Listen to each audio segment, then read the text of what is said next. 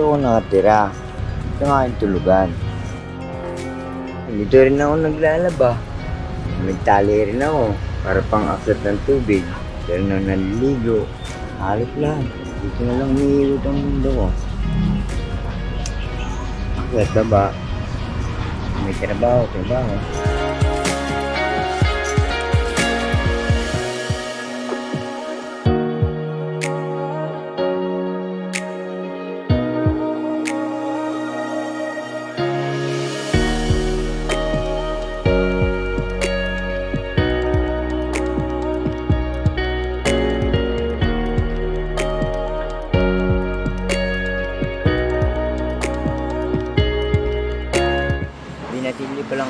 Babalik-balik lang ako Maynila, Batangas. Pag sawa na ako sa Batangas, balik naman ako dito sa Maynila. Apply ulit ng trabaho.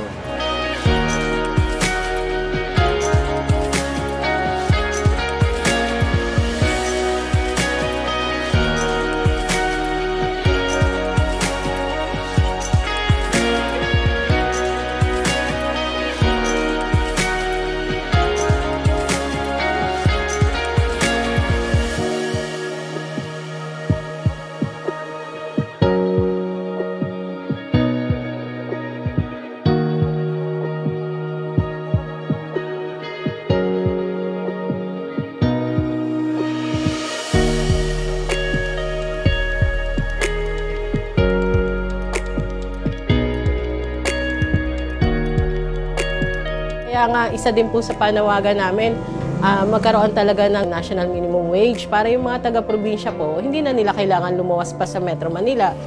At magkakaroon na sila ng maayos na, na sahod doon para masustain yung pang-araw-araw na gastusin ng bawat pamilya.